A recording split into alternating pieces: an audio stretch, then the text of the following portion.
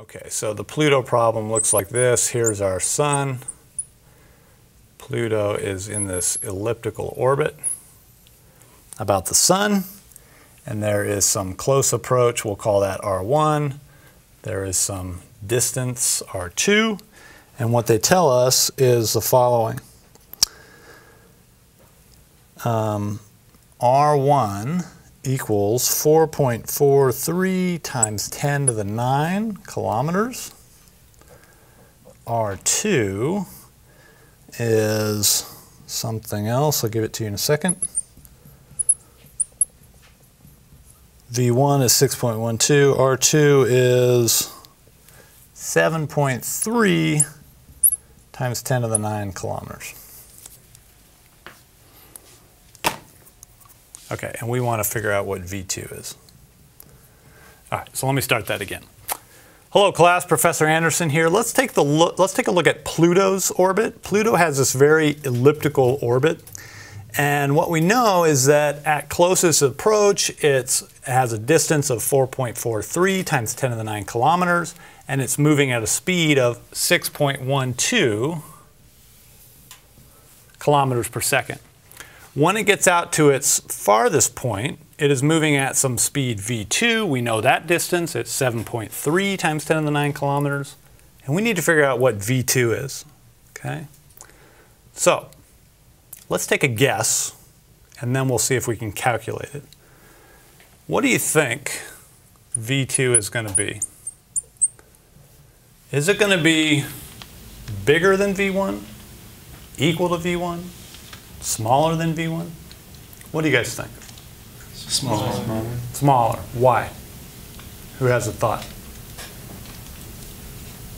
Jamie, you want to say something? Hand the mic to Jamie.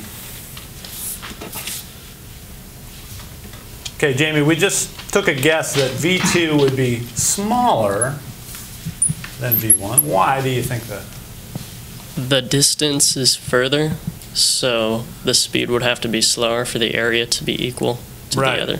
Exactly right. If Kepler's second law is going to hold, then equal areas and equal time says that V2 has to be smaller than V1. Exactly right. As a follow-up, how do we calculate it? Um, I'm not sure. Okay. Well, find the area of one and make it proportional to the other? Okay, let's see if we can do that. So let's draw little areas here, and let's, let's maybe just redraw our ellipse over here. Okay, here's our ellipse. Here's the sun. We've got this area, which we're going to call A1, and we've got this area, let's call it A2. We know what this distance is, r1. We know what that distance is, r2. If I knew the other sides of these triangles, then I could calculate exactly what the area is. Do I know this side of the triangle?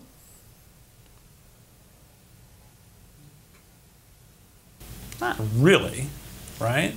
But if it's a very small side of the triangle here, we can approximate it. It is how fast you're moving times how long did it take you. Yeah? That's a distance. What about over here? I could do the same thing on this side. This would be v2 dt. And what Jamie said was if Kepler's second law is going to hold, those dt's, those little deltas, have to be exactly the same right? And so if the areas are the same, then what do we have? We know the area of a triangle. It's just 1 half the base times the height. R1 times V1 times dt. What about A2? It's 1 half R2 V2 dt. Aha! Cross out the halves, cross out the dt's. I get V2 is equal to R1 over R2 times V1. And now we have all those numbers. So we can plug it in and try it.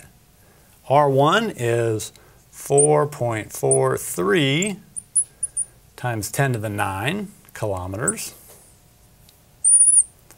I'm going to divide by 7.3 times 10 to the 9 kilometers. And I'm going to multiply by V1, which is 6.12 kilometers per second. This number is certainly less than 1. Our guess is going to hold for sure. What's the actual number? I don't know. Punch it into your calculator and tell me what you get. I will approximate it here.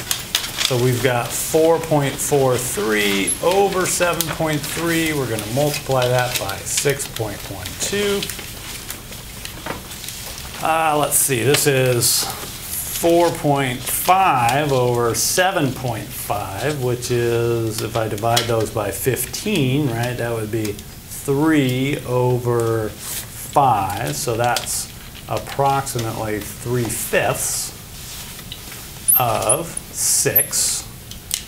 And 3 fifths of 6 is what? Now that's 18 over 5, which is pretty close to 3.6. Anybody get an answer? Three point seven. 3.7. All right, so our approximation was pretty good.